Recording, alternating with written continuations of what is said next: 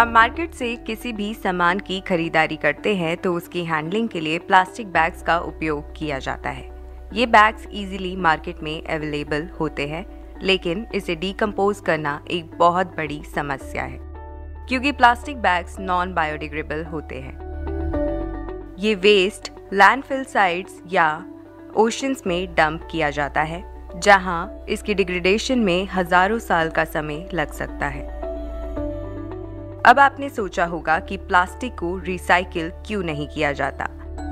Plastic को recycle करने के लिए प्लास्टिक को मैनुअली सेग्रीगेट किया जाता है, जो कि काफ़ी लंबा प्रोसेस है। कई तरह के मटेरियल में मिक्स पॉलीमर पाया जाता है, इसलिए इन्हें रिसाइकिल करने के बजाय इन्हें डंप कर दिया जाता है। प्लास्टिक को अगर किसी तरह रिसाइकिल कर भी लिया जाए तो रिजल्टिंग प्लास्टिक की क्वालिटी में कमी आ जाती है। इन्वायरमेंट को प्लास्टिक के दुष्प्रभाव से बचाने के लिए हमें ज़रूरत है उसके ऑल्टरनेटिव की, जो कि प्लास्टिक बैग की तरह कॉस्ट इफ़ेक्टिव हो, लेकिन साथ ही बायोडिग्रेबल भी हो।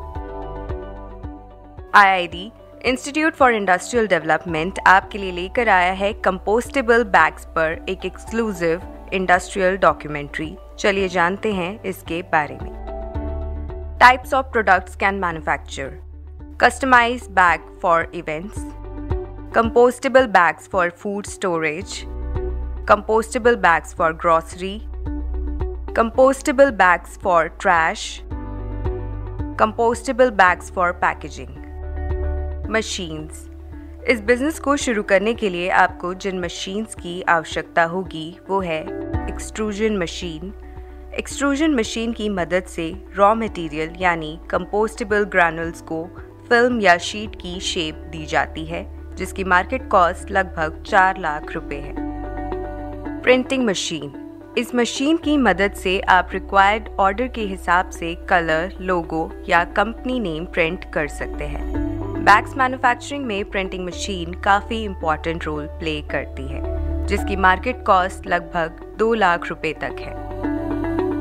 सीलिंग एंड कटिंग मशीन इस मशीन की मदद से आप कंपोस्टेबल बैग्स की कटिंग या सीलिंग कर सकते हैं जिसकी मार्केट कॉस्ट लगभग तीन लाख रुपए तक है इन मशीन्स की कॉस्ट उसकी कैपेसिटी पर भी डिपेंड करती है This is Tanuj here. I am from GR Vrindra Industries. Uh, we started our business since 1977.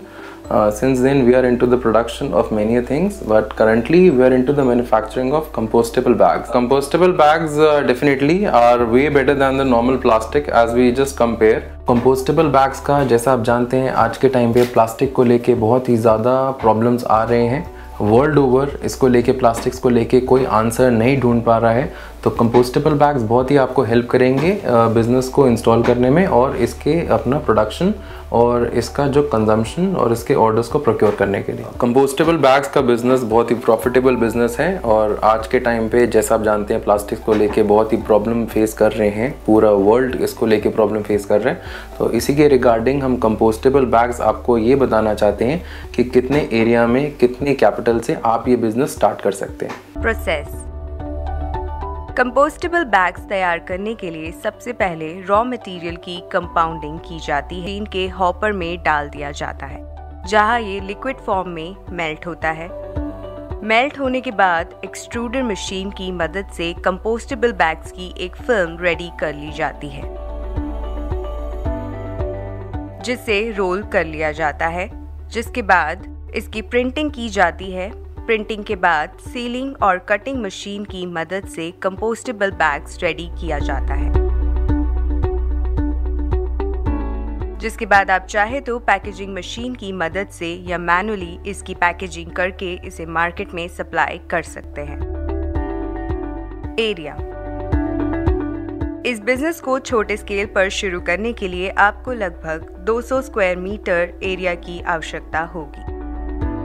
Man power इस बिज़नेस को शुरू करने के लिए आपको लगभग सात से आठ मैन पावर की आवश्यकता होगी। इलेक्ट्रिसिटी इस बिज़नेस के लिए आपको लगभग 30 से 40 किलोवाट बिजली की आवश्यकता होगी। प्रॉफिटेबिलिटी कंपोस्टेबल बैग्स मैन्युफैक्चर करने के लिए आपको जिन रॉ मटेरियल की आवश्यकता होगी, उसकी कॉस्ट लगभग दो सौ साठ रुपए पर केजी है। आप इन प्रोडक्ट्स को मार्केट में लगभग तीन सौ रुपये पर केजी के हिसाब से सेल कर सकते हैं। अगर आप एक दिन में 150 से 200 किलो कंपोस्ट बैग्स तैयार करते हैं तो आप दिन में लगभग डेढ़ हज़ार से दो हज़ार तक का नेट प्रॉफिट अर्न कर सकते हैं।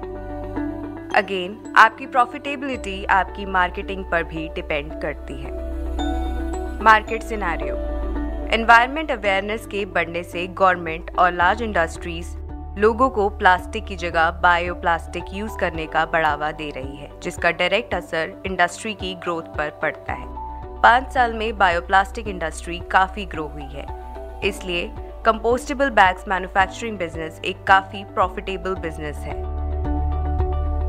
मार्केटिंग आज शायद ही कोई ऐसा grocery store electronic store supermarket या बुटीक हो जहाँ प्लास्टिक बैग्स का इस्तेमाल ना किया जाता हो।